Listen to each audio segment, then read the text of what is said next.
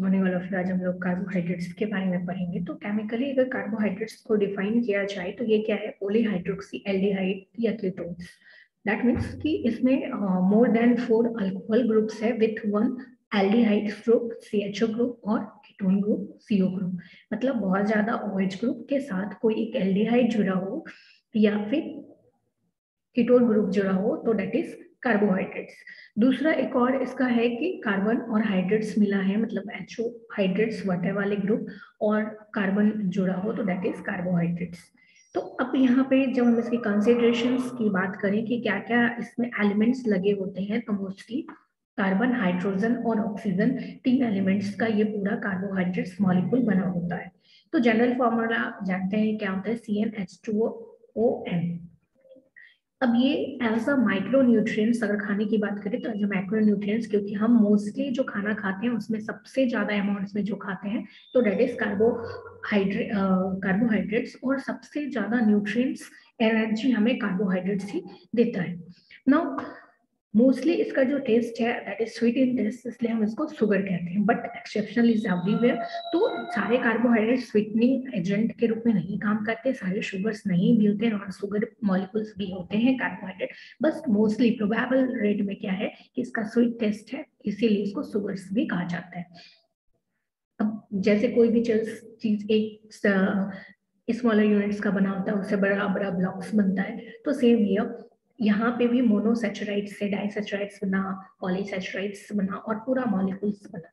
तो जो उसका स्मॉलर यूनिट है दैट इज़ मोनोसेचराइड्स नाउ अगर हम केमिकल फ़ंक्शंस की बात करें तो यहाँ पे क्या है कि पहले हम पढ़ चुके एज अ माइक्रो न्यूट्रिएंट्स है तो ये हमें क्या है कि एनर्जी देता है, सबसे ज़्यादा एनर्जी देता है। तो अब जो भी हम काम कर रहे हैं इवन हम सो भी रहे हैं तो वहाँ पे भी एनर्जी की रिक्वायरमेंट है।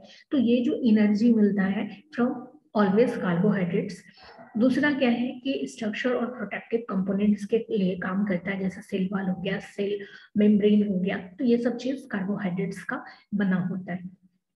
दूसरा फैट्स के सिंथेसिस हो या प्रोटीन का सिंथेसिस हो, वहाँ पे भी कार्बोहाइड्रेट्स इंटरमीडिएट्स का रोल करता है, एक वाइटल रोल प्ले करता है।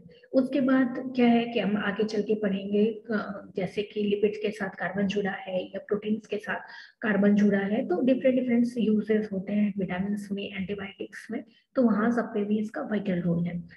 उसके अलावा, आपने पढ़ा होगा कि आर एन ए जो भी पढ़ा होगा तो उसमें आपने ये भी पढ़ा होगा कि वहाँ पे क्या है कि स्ट्रक्चर वहाँ पे भी शुगर मॉलिक्यूल लगाता है। फॉस्फेट ग्रुप है शुगर मॉलिक्यूल्स है। तो वो जो शुगर मॉलिक्यूल क्या है? दैट इज़ कार्बोहाइड्रेट्स तो वहाँ पे भी जो स्ट्रक्चर फ्रेमवर्क फ्रेमवर्क है तो उसमें भी कहीं ना कहीं कार्बोहाइड्रेट्स का एक अहम रोल है। उसके अलावा फैट टिश्यूज हो गया, हमारा जो एडिपोज टिश्यू है दैट इज़ फैट्स स्टोरेज के लिए तो वहाँ पे भी कार्बोहाइड्रेट्स है। इसमें बहुत सारे फाइबर्स कंटिन्यू होते हैं, जो रफेज का काम करते हैं तो वो कॉन्स्टिपेशन से हमें बचाते हैं और उसके अलावा भी हमारे इम्यून सिस्टम को मॉडुलेट करते हैं। इसके अलावा भी और भी बहुत सारे कुछ एक फ़िज़िकल प्रॉपर्टीज़ की बात करें तो कुछ प्रॉपर्टीज़ हैं, जैसे ऑप्टिकल एक्टिविटी हो गया, कि क्या करता है प्लेन पोलराइज लाइट को रोटेट कर देता है नॉर्मल लाइट्स में बदल सकता है, या फिर आइसोमर्स है, या एनोमिलिज्म में जाता है।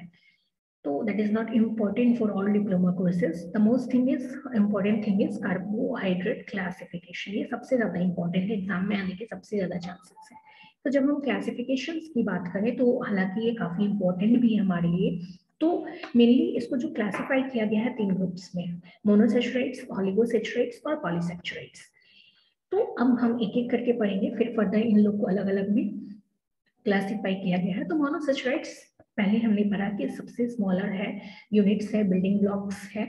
तो अब ये क्या है? इससे दूसरा ओलिगोसेचुराइड्स बनेगा या पॉलीसेचुराइड्स बनेगा। जब ये सबसे सिंपलर फॉर्म है, सबसे स्मॉलेस्ट फॉर्म है तो ऑब्वियस बात है कि इसको फर्दर नहीं तोड़ा जा सकता। तो इसको फर्दर हाइड्रोलाइज नहीं किया जा सकता क्योंकि ये स्मॉलर ग्रुप है। प्रॉपर्टीज़ की बात करें तो कलरलेस है क्रिस्टलाइन सॉलिड के फॉर्म में है। मोस्टली वाटर में सॉलिबल है और नॉन पोलर सॉल्वेंट जो भी है बेंजीन हो गया तो उसमें ये इनसॉलेबल है। उसके अलावा इसमें एक फ्री एल्डिहाइड ग्रुप है, या कीटोन ग्रुप है। इसलिए फ्री एल्डिहाइड या कीटोन ग्रुप के कारण ही क्या होता है कि जितने भी रिएक्शंस करते हैं, उसमें मोनोसेचराइड्स इजिली सबसे तेज़ी के साथ रिएक्शंस करते हैं। तो अब जितने भी आइडेंटिफिकेशन टेस्ट किए होंगे लैब में तो उसमें आप देखे होंगे कि जो कार्बोहाइड्रेट्स हैं इवन मोनोसेचराइड्स है नॉट ओनली कार्बोहाइड्रेट्स वो सबसे कम समय में रिज़ल्ट दिया। ग्लूकोज बहुत ज़्यादा रिज़ल्ट दिया बहुत कम समय में, फिर सुक्रोज को टाइम लगा और स्टार्च को तो बिल्कुल भी रिज़ल्ट नहीं दिया। वो इसलिए क्योंकि यहाँ पे free aldehyde and ketone group है रिएक्शंस के लिए।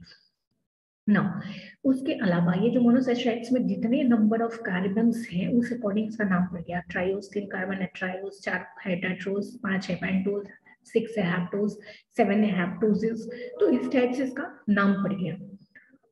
तो कुछ एग्जाम्पल्स हैं ग्लूकोज फ्रुक्टोज रिबुलोज सबसे एग्जाम्पल्स पे आपके एग्ज़ाम में आएँगे तो मोस्ट इंपॉर्टेंट है कि आप एग्ज़ाम्पल भी याद रखें। स्ट्रक्चर नाउ अब क्या है कि ऑब्वियस सी बात है, पहले भी हम पढ़े कि बिल्डिंग ब्लॉक कौन है हमारा मोनोसेचराइड्स तो मोनोसेचराइड्स ही ओलिगोसेचराइड्स बनाएगा या पॉलीसेचराइड्स बनाएगा। अब ये जो है, इसमें मैंने कितना है? दो से दस मॉलिक्यूल मोनोसेचराइड एक दूसरे के साथ मिलके ओलिगोसेचराइड्स बनता है जैसे दो मॉलिक्यूल्स है मान लीजिए कि ये दोनों है ग्लूकोज एंड फ्रुक्टोज दोनों मिल गया। तो एक नया कंपाउंड बनाया, दो मॉलिक्यूल्स वाला एक कंपाउंड बनाया दैट इज़ डाइसेचराइड्स तो डाइसेचराइड्स किसके अंतर्गत आया? दो से दस मॉलिक्यूल तक जो भी मोनोसेचराइड एक दूसरे के साथ जुड़ के जो भी कंपोनेंट बनाता है दैट इज़ ओलिगोसेचराइड्स अब यहाँ पे क्या है? अब इन दोनों को जोड़ने के लिए कोई ना कोई एक लिंकेज चाहिए। इन दोनों को मान लीजिए जोड़ना है। तो कुछ एक लिंकेज चाहिए होगा, यहाँ से मान लीजिए एच निकलेगा ओ एच निकलेगा, उसके बाद दोनों में कॉम्बिनेशन होगा। ऐसे कुछ एक लिंकेज चाहिए होगा दोनों के बीच में। तो ये जो लिंकेज बनता है, इसको हम लोग ग्लाइकोसिडिक लिंकेज बोलते हैं।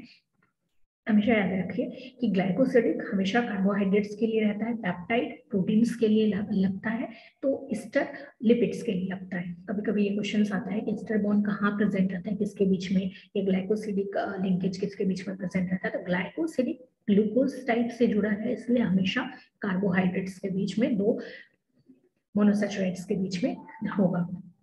अब जैसे हमने नाम पहले पढ़ा ट्राइओस तीन तीन उसमें नंबर ऑफ़ कार्बन है, अब यहाँ पे क्या है, जितने नंबर ऑफ़ मोनोसेचराइड जुड़ेंगे, वैसा नाम हो गया। दो मोनोसेचराइड जुड़े एक साथ डाइसेचराइड तीन जुड़े ट्राई उसके ज़्यादा जुड़ा टेट्रा इस टाइप से नाम बढ़ते जाएगा। तो वहाँ पे नंबर ऑफ़ कार्बन बढ़ रहा था, यहाँ पे नंबर ऑफ़ मोनोसेचराइड्स बढ़ रहा है। जैसे देखिए, एक मॉलिक्यूल ग्लूकोज है, दूसरा मॉलिक्यूल फ्रुक्टोज है, दोनों मिल गया सुक्रोज बन गया। एक ग्लाइकोसिडिक बॉन्ड के साथ जुड़ गया दैट इज़ ग्लूकोज बन गया सुक्रोज बन गया। वैसे ही एक गैलेक्टोज है, दूसरा ग्लूकोज है, दोनों मिलके लैक्टोज बना दिया। तो ये सब डाइसेचराइड्स का एग्जांपल है। यहाँ पे अगर तीसरा मॉलिक्यूल्स कुछ जुड़ जाता तो ये ट्राइसेचराइड्स होता, चौथा और कुछ जुड़ जाता तो दैट इज़ टेट्रासेचराइड्स वैसे ही अब ओलिगोसेचराइड्स जैसे हम पढ़े, वैसे ही हमारा पॉलीसेचराइड्स तो पॉलीसेचराइड जनरली ओलिगोसेचराइड्स और मोनोसेचराइड्स क्या है? कम लेंथ का है तो इसलिए ब्रेकेबल है तो जनरली जितने भी टेस्ट हैं आइडेंटिफिकेशन टेस्ट सभी में पास हो जाते हैं। बट पॉलीसेचराइड्स क्या है? इसमें 10 से ज़्यादा मॉलिक्यूल बाइंड अप होता है अप टू हंड्रेड्स कॉम्प्लेक्शन बन जाता है अब यहाँ पे क्या हुआ कि ये जल्दी हाइड्रोलाइसिस में तो जाएगा, वो टाइम लगाता है, काफ़ी टाइम लगाएगा क्योंकि इनके बीच में बॉन्डिंग बहुत ज़्यादा हो जाता है स्ट्रॉन्ग बॉन्ड होने लग जाता है। तो इस आधार पे प्राइमरी फ़ंक्शंस के आधार पे क्या बोलते हैं स्ट्रक्चरल फ़ंक्शंस है और एनर्जी का को स्टोर करना है। मेनली काम यही है कि कहीं पे भी मान लीजिए चिटिन का फॉर्मेशन कर दिया फंगी सब में तो वो उसको क्या किया? वाटर से बचाया। तो स्ट्रक्चरल फ़ंक्शंस में काम आ रहा है। दूसरा हमारे अंदर एनर्जी स्टोर कर रहा है। ग्लाइकोजन के फॉर्म में स्टोरेज हमारे अंदर ग्लाइकोजन के फॉर्म में स्टोर हो रहा है एनर्जी और प्लांट में स्टार्च के रूप में। अब दूसरा क्या हुआ कि इसमें दो तरह का है। एक होमो दूसरा हेट्रो अगर same number of polysaccharides monosaccharides एक दूसरे से जुड़ा same glucose glucose glucose glucose पच्चीस ग्लूकोज एक रूम में जुड़ा, ठीक है? तो सभी एक जैसा है तो दैट इज़ होमोपोलीसेचराइड्स अगर ग्लूकोज जुड़ा, फिर फ्रुक्टोज जुड़ गया, फिर मतलब कोई भी दो दो अलग अलग या तीन अलग, चार अलग तो उसको हम लोग बोलते हैं हेट्रोपोलीसेक्राइड्स तो हेट्रोपोलीसेक्राइड्स का एग्जांपल है येलोनिक एसिड या कॉन्ट्रोइटिन और होमोपोलीसेक्राइड्स है स्टार्च ग्लाइकोजन सेलुलोज पेक्टिन वगैरह वगैरह ओके देखिए, यहाँ पे कितने सारा, काफ़ी वास्ट स्ट्रक्चर है। ना अब हम टेस्ट में आते हैं, काफ़ी लोग लैब में प्रैक्टिकल्स किए होंगे कार्बोहाइड्रेट्स का टेस्ट सबसे इजी टेस्ट जो है that is Molisch test generally सभी कार्बोहाइड्रेट्स को टेस्ट करने के लिए जो प्रेयर टेस्ट करते हैं दैट इज़ मॉलिस टेस्ट इसमें हम लोग क्या करते हैं कि जो भी हम सैंपल लिए कार्बोहाइड्रेट्स का, उसमें सल्फ्यूरिक एसिड डालते हैं कंसंट्रेटेड विथ मॉइस रिएजेंट भी मिलता है। तो अब यहाँ पे क्या है कि जैसे ही डालें, वहाँ पे फर्फ्यूरल डेरिवेटिव्स हो जाता है फ्यूरेन बन जाता है। उसके बाद उसको फ्यूरेन को दैट इज़ फ्यूरेन डेरिवेटिव जो भी चीज़ बना, उसको अगर जैसे ही आपने अल्फ़ा नैप्थोल के साथ रिएक्ट कराया तो एक पर्पल कलर दिया। अगर पर्पल कलर प्रेजेंट हुआ दैट मीन्स कि वो जो सैंपल है इट कंसिस्ट ऑफ़ कार्बोहाइड्रेट्स तो ये जनरल टेस्ट है सभी कार्बोहाइड्रेट्स के द्वारा। Next one is next one is Fehling test तो फिलिंग टेस्ट या फिर बेनेडिक टेस्ट दोनों का प्रोसीजर लगभग सेम है एजेंट का डिफरेंस है ओके तो फिलिंग ए और फिलिंग बी होता है, दो एजेंट होता है बेनेडिक सिर्फ़ एक एजेंट होता है। तो Fehling A and Fehling B दोनों जो ए एजेंट होता है तो उसमें मेनली दोनों सॉल्यूशंस को अगर आप देखें तो अल्कलाइन क्यूप्रिक हाइड्रोक्साइड सॉल्यूशंस है। तो जैसे आप देते हैं तो यहाँ पे क्या है कि ये एक तरह का रिडक्शन ऑक्सीडेशन और रिडक्शन टेस्ट होता है कार्बोहाइड्रेट्स का। इसमें जैसे ही रिड्यूशन शुगर डेट मीन्स की इधर मोनोसेचराइड्स रहे या डाइसेचराइड्स रहे, उन दोनों ही टेस्ट में जाता है बाकी स्टार्स इसमें नहीं जाता बेनेडिक्ट में भी। तो अब यहाँ पे क्या है कि वो एक रेड या येलो कुपरस या कॉपर टाइप का एक प्रिसिपिटेट बनाता है। क्यों बनाता है? क्योंकि यहाँ पे क्या होता है कि फॉर्मेशन होता है जो कुप्रिक एसिड में बन, कुप्रिक आयंस में टूटने लग जाता है। उसी आयन के कारण ये क्या होता है कि रेड कुपरस ऑक्साइड जो भी बन गया है तो वो क्या करता है कि प्रिसिपिटेट आउट होता है और उसका कलर ऑरेंज में दिया जितना अमाउंट ऑफ़ ग्लूकोज प्रेजेंट है, उतना वो कलर ज़्यादा देने लगता है। सेम कंडीशंस बेनेडिक टेस्ट के साथ भी है। यहाँ पे भी क्या होता है कि कुप्रिक कुपरस आयन में रिड्यूस होता है। तो दोनों में ज़्यादा अंतर नहीं है, बस रिएजेंट का अंतर है कलर कॉम्बिनेशन सेम है और दोनों में ग्लूकोज या डाइसेचराइड्स मोनोसेचराइड्स या डाइसेचराइड्स ही जाएगा। ना बर्फूट रिएजेंट ये मेनली क्या है कि अब हमारा क्या है कि डाई और मोनो दोनों के हैं, दोनों में बेनेडिक्ट एंड फैलिंग्स में। तो नाउ क्या है कि मोनो को सिर्फ़ टेस्ट करने के लिए हम लोग बारफूड रिएजेंट करते हैं, क्योंकि इसमें क्या है कि टाइम लिमिट्स है। काफ़ी कम समय में जैसे आप सैंपल में बायफोर्ड रिएजेंट देखेंगे और उसको बॉइल करेंगे तो वहाँ पे क्या है कि थोड़ा रेड रेड कलर का रेड कॉपर ऑक्साइड यहाँ पे भी प्रेसिपिटेट होता है, जो रिड्यूसिंग शुगर को प्रेजेंट करता है। चूँकि हमारा टाइम लिमिटेशन है, इसलिए ग्लूकोज जल्दी दे देता है मोनोसेचराइड्स तुरंत में दे देता है डाइसेचराइड्स को टूटने में थोड़ा टाइम लगता है। डेट वे कि ये टेस्ट मोनोसेचराइड्स को करते हैं। जितना जल्दी कलर ज़्यादा दे दिया तो वो डाइसेचराइड्स मोनोसेचराइड्स हो गया ओके okay? ना अभी आपने देखा कि जितना मोलिस एक जनरल टेस्ट है, बाकी टेस्ट में पॉलीसेचुरेट्स नहीं गया दैट मीन स्टार्च तो उस चीज़ को टेस्ट करने के लिए हमारे पास स्पेसिफिक टेस्ट है दैट इज़ आयोडीन टेस्ट इसमें हम लोग स्टार्च के प्रेजेंट को डिटेक्ट करते हैं। तो इसमें क्या होता है कि हमारे कलर होता है, एक लंबा प्रोसीजर है, उसको फॉलो करते हैं, अगर। स्टार्च में हम जानते हैं कि क्या रहता है एमाइलो एमाइलो पैक्टिन दोनों रहता है तो उसमें क्या होता है कि आयोडीन के साथ कॉम्प्लेक्स बनाता है that is blue black colour का। तो अगर वहाँ पे ब्लू ब्लैक कलर आ गया that means that give positive test for starch अब यहाँ तक तो हमने टेस्ट कर लिया। अब हम देखते हैं कि मेटाबॉलिज्म डिसऑर्डर क्या है, इसके लेने से या इसके कम होने से क्या क्या बीमारी हो सकती है। तो फ़र्स्ट वन इज़ गैलेक्टोसिमिया तो गैलेप्टोसेमिया में क्या होता है कि एक इंजाइम की कमी होती है that is galactose three phosphate uridine transferase और ये हमारे गैलेक्टोज को मेटाबोलाइट करने के लिए बहुत ही इंपॉर्टेंट है। मतलब मिल्क शुगर जो हम दूध वाली चीज़ें खा रहे हैं या दूध पी रहे हैं, उसको डाइजेस्ट करने के लिए ये बहुत इंपॉर्टेंट अगर ये नहीं रहेगा तो क्या होगा? इंटॉलरेंस होने लग जाएगा दूध का। तो अब इसमें क्या है? जैसे आप दूध लिए, अगर ये एंजाइम काम नहीं कर रहा है तो वो क्या करेगा? किसी तरह उसको वॉमिट करना चाहेंगे जॉन्डिस होने लग जाएगा डायरिया होने लग जाएगा, लंबाई ग्रोथ रुकने लग जाएगा, क्योंकि वो आपके बॉडी में डाइजेस्ट नहीं हो रहा है, आपके ब्लड तक सिस्टमिक सॉल्यूशन सिस्टमिक सर्कुलेशन में नहीं आ रहा है। दूसरा है ग्लाइकोजन स्टोरेज डिज़ीज़ इसमें ये भी एक तरह ग्लाइकोजन के मेटाबॉलिज्म्स का स्टोरेज है। इसमें क्या हो रहा है कि इंजाइम्स इसमें भी कम पड़ रहा है। तो अब हमारे पास क्या हो रहा है कि ग्लाइकोजन स्टोर नहीं हो पा रहा है। तो हमको क्या हो रहा है कंफ्यूजन होने लग गया किडनी स्टोन हो गया, क्योंकि स्टोर करने के लिए कहा जाएगा सीधा यूरिन में आ गया जाके किडनी पर डिपोजिट हो रहा है। लीवर पे डिपोजिट हो रहा है। तो शुगर लेवल कम हो जाएगा। तो ये सब बीमारी हमको होने लग जाती है। दूसरा क्या है? हेरिडेटरी फ्रुक्टोज इंटॉलरेंस किसी किसी को फल से एलर्जी होती है, फल उनको पचता नहीं है। तो इसमें भी इंजाइम्स की कमी होती है जो फ्रुक्टोज को मेटाबोलाइज कर सके। तो अब इसमें क्या है कि जैसे फ्रुक्टोज में कोई भी फल वाला चीज़ हमको नहीं बचेगा तो हमारा ब्लड शुगर लेवल कम होने लग जाएगा। तो हमारा जैसे ही ब्लड शुगर कम होने लग जाएगा किडनी को अफेक्ट करेगा लीवर को अफेक्ट करेगा तो चूँकि ये क्या है कि एक तरफ़ हेरिडिटरी डिसऑर्डर्स है वो पेरेंट्स से बच्चों में आ सकता है। तो अब इसमें टिपिकल सिम्टम्स की बात करें तो ब्लड शुगर कम हो जाता है स्वेटिंग काफ़ी होने लग जाता है कंफ्यूजन होने लग जाएगा किडनी डैमेज होने लग जाएगा नेक्स्ट है डायबिटीज़ मेनली डायबिटीज़ दो तरह का होता है diabetes one and diabetes two diabetes mellitus का टाइप है ये, एक इंसिपिडस भी होता है. तो अभी हमको कार्बोहाइड्रेट मेटाबॉलिज्म में डायबिटीज़ मेलाइटिस के बारे में पढ़ना है. तो मेलाइटिस भी दो तरह का होता है type one and type two तो मोस्ट कॉमनली जो सभी में पाया जाता है डेट इज़ टाइप टू तो इसमें क्या होता है कि टाइप वन में हमारी बॉडी में इंसुलिन नहीं बनने लगता है, ठीक है? लेकिन टाइप टू में क्या है कि इंसुलिन बनता है, या तो ज़्यादा नहीं बनता जितना हमको बॉडी का सफिशियंसी है, ज़रूरत है, या फिर काम नहीं कर रहा होता, बनता ज़रूर है रेसिस्ट कर रहा होता है, उसको कोई फ़र्क नहीं पड़ रहा बॉडी को लेकिन फ़र्स्ट वाले केस में है कि बन ही नहीं रहा है इंसुलिन बन ही नहीं रहा है। तो अब यहाँ पे क्या है type one generally hereditary type का रहता है या ऑटोम्यून टाइप का रहता है तो ये हमको बचपन से रहता है। बट टाइप टू क्या होता है कि ऑलमोस्ट एडल्ट होने पे होता है आफ्टर फोर्टी फाइव अगर आपका ज़िंदगी सही से नहीं चल रहा है, जीवनचर्या अच्छे से नहीं है, आपने योगा वोगा नहीं किया है फैट बढ़ रहा है, वो सब कंडीशन में टाइप टू डायबिटीज़ होता है।